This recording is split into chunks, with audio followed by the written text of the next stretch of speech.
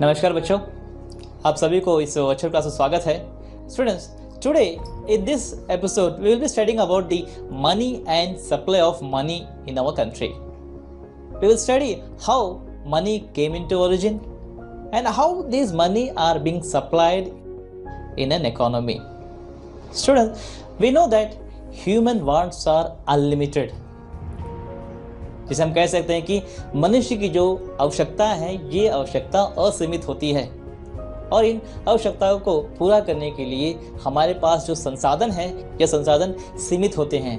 हमने ये भी पढ़ा है कि ये संसाधन सिर्फ़ सीमित नहीं होती है, बल्कि इनके वैकल्पिक प्रयोग भी होते हैं। तो जैसे जैसे हमारे समाज में, हमारे अर्थव्यवस्था में मनुष्य अपनी मांगों को आपस में एक दूसरे से बांट कर अपनी आवश्यकता को पूरा करते थे, वैसे ही हम यह जानने की कोशिश करेंगे कि मनुष्य कैसे अपनी आवश्यकताओं को पूरा करते थे और उनके आवश्यकताओं को पूरा करने के लिए जो माध्यम होती थी, यह माध्यम क्या था? So students you have learn about the early civilisations so in the beginning of our civilisation you have read about barter system. So in that system, what we have studied that in the early time, human beings are being called as nomads. What are nomads? जिन्हें हम खानाबदोश कहते थे। That means the human beings, they do not settle in a certain place for a longer period of time. कहने का अर्थ है कि, कहने का अर्थ ये है, पौराणिक काल में मनुष्य एक जगह से दूसरी जगह तक बार बार वो अपने रहने के स्थान को बदलते रहते थे। इनका कारण क्या था? टू सर्वाइव जीवित रहने के लिए। So to survive the human being use to roam from one place to another place every day and every period why? Because in search of food. So only with the help of availability of food they can survive in this planet. So they become nomads. They used to roam from one place to another.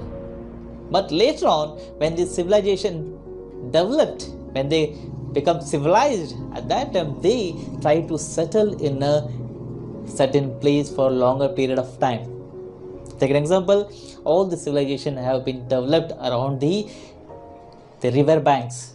Why they are developed in the river banks? Because due to the availability of water. Due to the fresh water. So by this way they started the process of cultivation. And after that gradually they developed themselves and they invent many more equipments for their higher living so at that what we have seen that people used to exchange their goods with one another. Because a human being cannot produce all the goods which he needs. So whatever the things have been produced by a person is being exchanged for a good with an another person. Take an example if a person is cultivating the rice or paddy so that will be exchanged with a person who's having in cattle or any other good. So by the way of exchange with one another the system of barter that barter system have came into existence. Because by this way they can very easily able to fulfill their needs. Because as i told you that a single person cannot produce all those necessity goods which he need for his survival. So by this way what we can see that in the beginning of the civilization the system of exchange exchanging the goods have been started to fulfill their needs.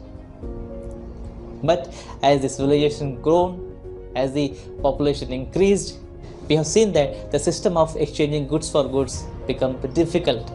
So at this barter system the problem of coincidence occurred so that brought a new system or new medium of exchange that is being called as money.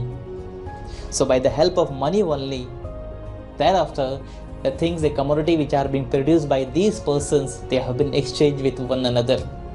That means with the help of money only we can exchange one good with the other good with another person. Or we can fulfill our needs.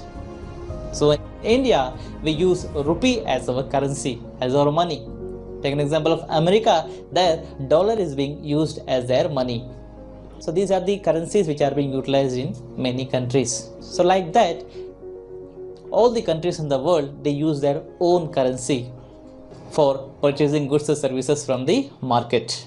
Okay, students, now we'll see about the origin of money. We know that our wants are not simple, they are multiple. Our wants are multiple, as I told you that a single person cannot produce or exchange all those goods which is being needed for his self satisfaction. So to fulfill his need, he has to exchange the goods with the other person, with the other producer. So at that what we have seen that in the previous days, barter system was used as exchanging the goods with one another. But it was found inefficient. So due to the inefficiency of barter system, money was invented. So by the invention of money, the exchange become very easy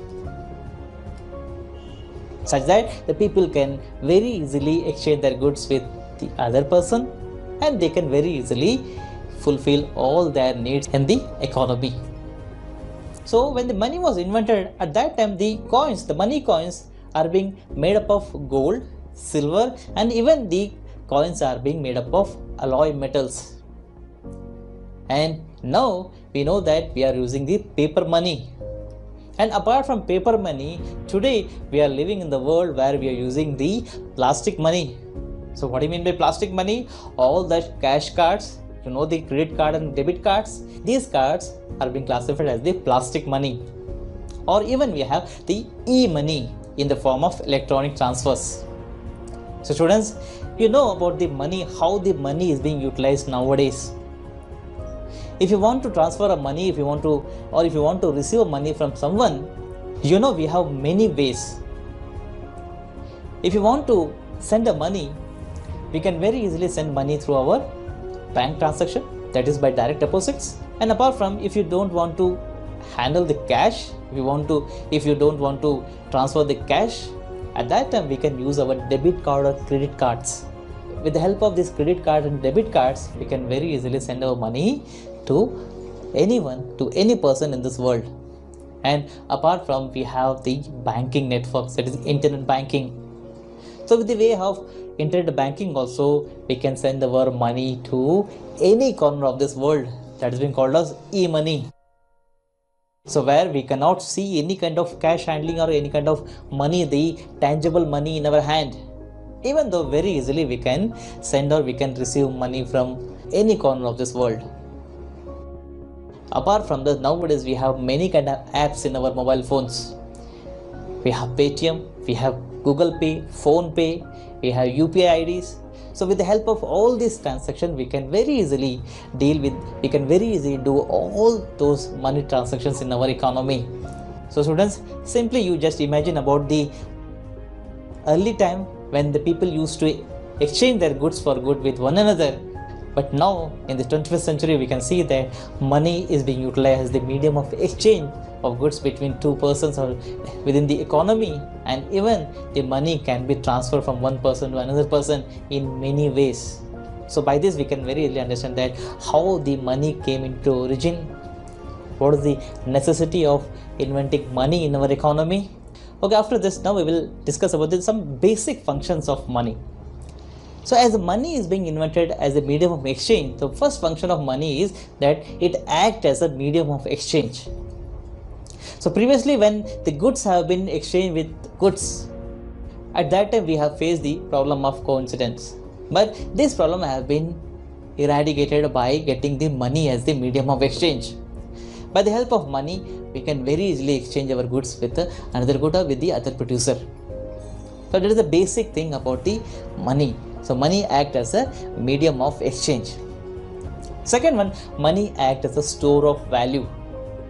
As you know that in the CC economy, that is commodity for commodity economy, where that is the barter system, the, we cannot store the value of these commodities. Take an example of the perishable goods. All those perishable goods produced by the farmer, it had to be sold in a short span of time in the market if the farmer fails to sell all these goods in, his, in the market, that perishable goods cannot be stored for a long period of time. So students, here when we have the money as the medium of exchange, so that can store the value of these commodities. by selling these commodity to the other person in an economy, the money, the commodities value can be transformed into the value of money. So at that time, we can very easily store the money in the form of coins or the notes. So that is the second basic thing that the money act as a store of value. Then after we can see that money act as a measures of value. So the value of the commodity can be expressed in the value of money.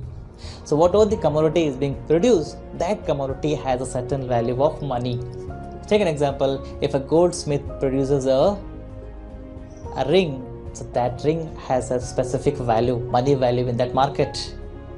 At the same time, the paddies or the cereals which are being produced by the farmers they also have some sort of value of money in the economy. So all that production made by the farmers and made by the producers have a specific money value in the market. So that can be only measured with the help of money only. So when we have the money in our market, we can measure that commodity's value in terms of money. And at last, what we can see that the money is being used as standard for deferred payment. What are deferred payment? Deferred payments are those kind of payment which are made sometimes in the future. So though we are making deal today but the payment will be made in future. So here the money is being used as the standard for deferred payments so at last we can say that money is what it does Therefore, it is defined as an instrument that serves as a medium of exchange, store of value, a measure of value, and a standard for deferred payment. So, these are the basic functions of money which we can see here. Okay, students, now we'll detailedly see about the features of a barter system. So, as I studied that in the previous days, people used to exchange their goods and they used to fulfill their needs by exchanging their goods with the other person. So that system is called as barter system. And this system of exchanging goods for goods is also being called as CC economy. So what do you mean by CC economy? CC economy is that economy where the commodity is being exchanged for commodity. That is commodity for commodity economy.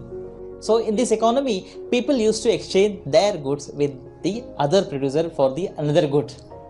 Take an example. If a farmer is producing any vegetable so that vegetable will be exchanged with an another producer where these vegetables will be exchanged for some cereals. So by this way, both the person can fulfill their needs by exchanging their goods with each other. So that is a system of barter where we can see that people very easily exchange their goods for goods. But in this system, again, as I told you, that problem of coincidence arises.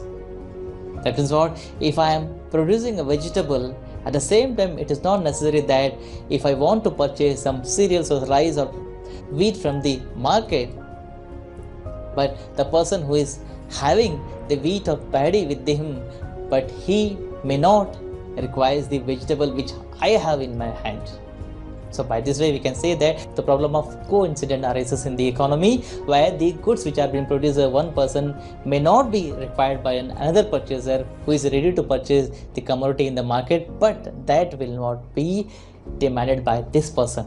So here the problem of coincidence arises in the economy. So then, as I told you, we have invented the money. So at that time, money act as a medium of exchange. Though in the early time of civilization, we could see that the barter system is one of the basic system of exchange of goods and services within the economy. But later on, as the money is being invented, so now we will study about why, what are the drawbacks, what are the demerits of barter system. Okay, students. Now we'll study about some drawbacks of the barter system. So at first we have the double coincidence of wants. So what do you mean by double coincidence of want? So double coincidence of want is a core characteristics of the barter system of exchange. So here the double coincidence of want implies that at a point of time when two individuals are in possession of such good which they are willing to exchange for the satisfaction of their wants but it is always it is not always so simple. it is not so simple to find a person who wants your horse and at the same time has a cow that you want to buy. Accordingly, under the barter system, exchange remained extremely limited where we could not able to fulfill our needs by getting the our desired goods from some another person so with the emergence of money as a medium of exchange the problem of double coincidence of wants has vanished so the double coincidence of wants can be eradicated by the origin of money in the economy. Secondly, we can see that lack of a common unit of value. So in the barter system of exchange, the lack of common unit of value we can very easily find where take an example if someone was asking you what is the value of your car? So at that time what you will reply? You may reply it may be 5 lakh or 6 lakh. So can you imagine? So what is your answer if you are surviving in a barter system of exchange? So at that time certainly we could not able to say the value of a car as 5 to 6 lakh so it is not certainly possible so under such system your car would be valued in terms of horses cows or buffaloes simply because there is no money or a common unit of value. So, by the evolution of money in the economy, it gives us a, a common unit of value. Therefore, a system of accounting is being designed in an economy where we can very easily set a common unit of value for exchanging the commodities in the economy. Then thirdly, we can see difficulty of future payment or contractual payment or we can say deferred payment. Take an example. These days, when you hire a worker or strike a contract to pay him rupees 10,000 per month, so it is possible nowadays where we can hire a person and by the contractual agreement with this person after the completion of the said work we can pay him the decided amount but what do you do in barter system? Would you decide to pay him in terms of tables or chairs or in terms of rice or wheat? So it is not possible in the barter system of exchange. So the contractual or the future payment or the deferred payment would certainly be very difficult under the barter system of exchange. So students, Due to the evolution of money, this has facilitated the contractual or the deferred payment in the economy. The fourth drawback of the barter system is difficulty of storage of value that is saving.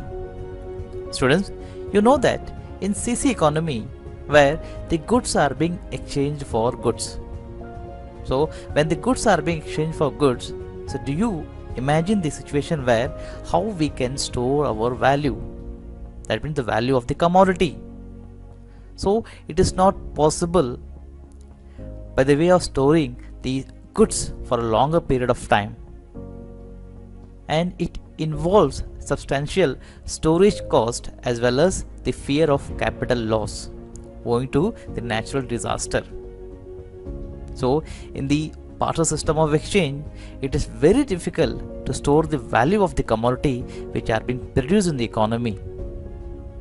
So it is the one of the most important difficulty in the barter system of exchange where we could not able to store the value of the commodity produced. And at last we have the difficulty of transfer of value. The students in the barter system of exchange we could not able to transfer the value of our commodity the commodity value cannot be transferred very easily so what if happens if you are to transfer your saving from one place to another obviously you have to transfer the goods because in this system we don't have any kind of any other medium of exchange So here the transfer of value, the commodity value becomes very difficult task besides being expensive.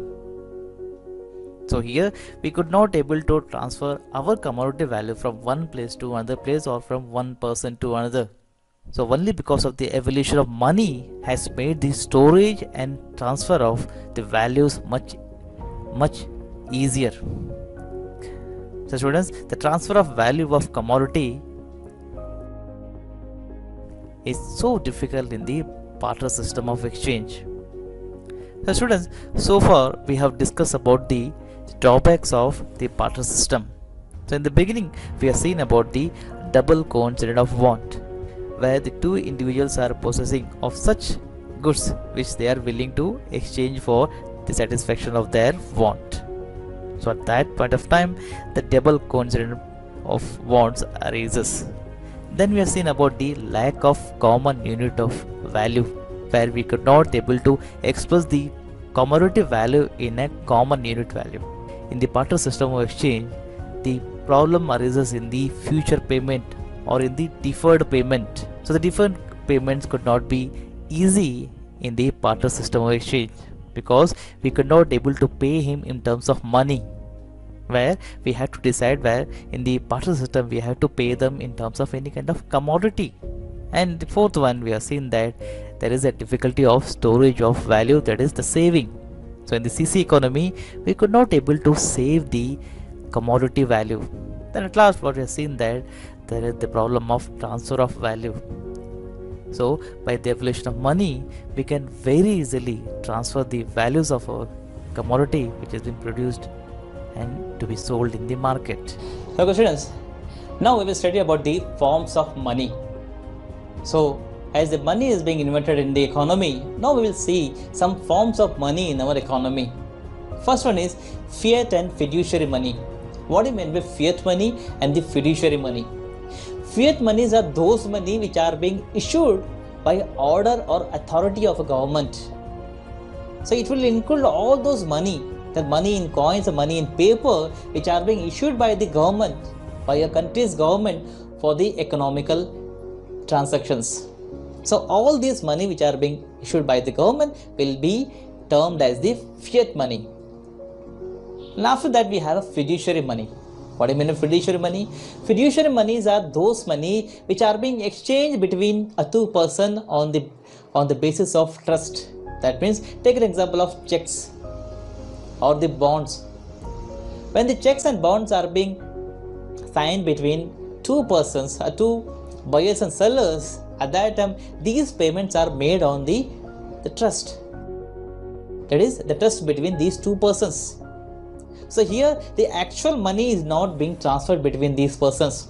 They are not holding any kind of cash or any kind of uh, coins with them to exchange the money for an commodity. But here, in place of the cash or in place of the coins they use the paper leaves the leaves which are being issued by the bank or the bonds which are being issued by the court so by the way of checks and bonds all the transactions the economic transactions are being made in the economy so this money is being called as what fiduciary money and apart from this we have one more form of money that we call it as full bodied money and credit money so what do you mean by full bodied money?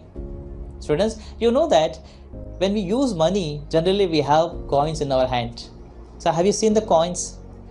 So whenever these coins are being utilized as money in an economy, so these coins are made up of some commodity. Take an example, the coins are being made of gold. As I told you, it may be made of gold, silver or any alloy metal so in full bodied money, what we can see here that these coins, the commodity value of these coins will be exactly equal to the money value. The coins value, the coins whose commodity value will be equal to the money value. But in credit money, what we can see is that the credit money are those money which money value will be more than the commodity value.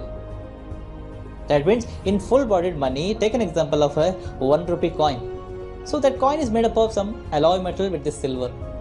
So these the commodity value of that alloy or that silver will be equal to the money value of the commodity.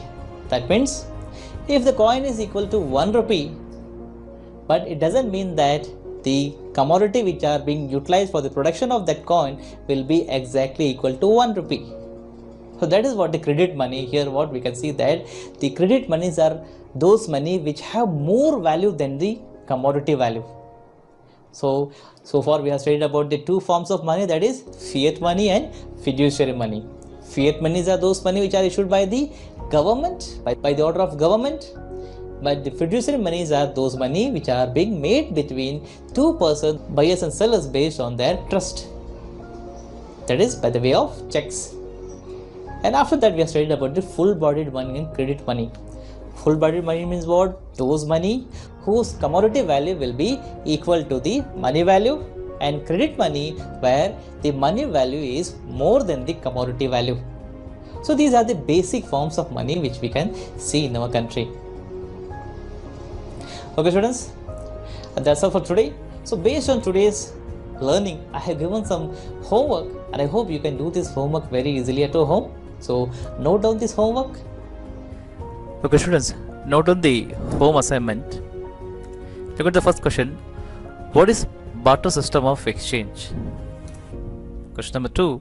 Define CC economy. Third one. What do you mean by money? And then the fourth question. Explain the types or explain the forms of money in the economy. And the last question, you have to differentiate between full bodied money and the credit money. okay students that's all for today we will meet in the next episode with the remaining concepts of money and supply of money in our country so until then keep learning stay safe jai hind jai bharat